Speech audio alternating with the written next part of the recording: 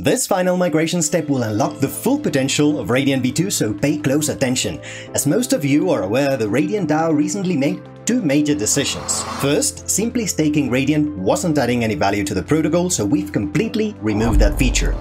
Now, users must lock DLP tokens or dynamic liquidity in order to earn protocol fees. Don't worry, the DAO made it super easy by partnering with Balancer and simply asking for LP tokens that are composed of 80% Radiant and 20% ETH. As you can see below, DLP is a unique approach to liquidity provisioning that is designed to reduce slippage and impermanent loss for buyers and sellers of Radiant. The second big change is that only users who meet a certain criteria can attain what the community is calling club member status and become eligible to earn Radiant emissions on deposits and borrows. So what does club member status mean exactly? It means that you have at least 5% of your total deposit value in DLP. So if I have $100 in deposits, I need at least $5 in DLP or dynamic liquidity in order to earn emissions. As a reminder, DLP tokens are composed of 80% Radiant and 20% ETH, so this would mean $4 of Radiant and $1 of ETH. On the Radiant 2.0 homepage, you can see the native yield offered to depositors highlighted here.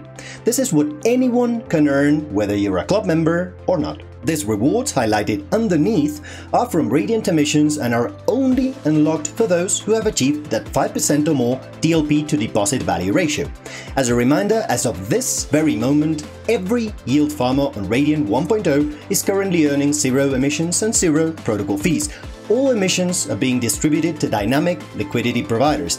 So let's go migrate our V1 tokens directly into DLP. I'm simply going to scroll down to step 1 in the Creating DLP section. In this box, enter the amount of Radiant you'd like to migrate directly into DLP. Down here in step 2, you'll notice your ETH is automatically populated with the amount needed to form the DLP. If you need to borrow ETH, simply click this button here.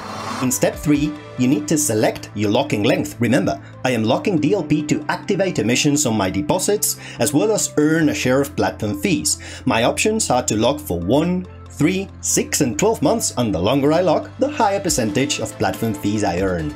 Once I've selected my locking length, voila, I'm done. Simply click on Zap into DLP to complete the migration. If you have any remaining Radiant V1 tokens in your wallet, you can come back to this page at any moment and click on Migrate V1 Radiant from Wallet. And that Radiance concludes today's tutorial. If you're confused, that's okay. Radiant's community is available 24-7 in Discord and Telegram, where I hope to see you come interact with our team and ask questions. For now, I bid you adieu.